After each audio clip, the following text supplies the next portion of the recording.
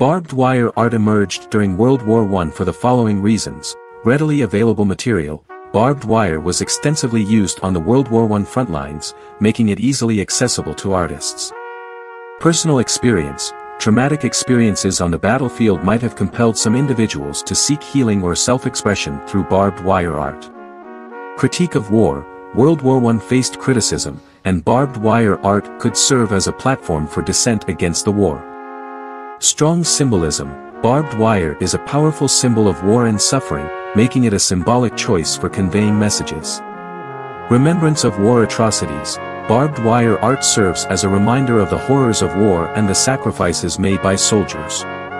Exploration of artistic expression, using barbed wire as an art medium was an intriguing artistic experiment, combining technical challenges with powerful messages.